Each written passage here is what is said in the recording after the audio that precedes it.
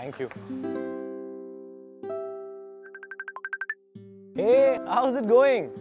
I'm counting the days till you guys get here. Hey, you're enjoying your English breakfast. What about unpacking? And did you open the bank account? I did that at the airport in India itself. The airport? What?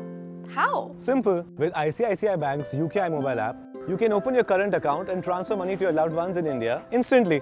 And the NRI account? The ICICI Bank UK representative came home with a tab and opened my NRI account. Apna ICICI Bank in the UK. Why don't you open your account right away through the UKI mobile app? You'll get the UK debit card in India itself.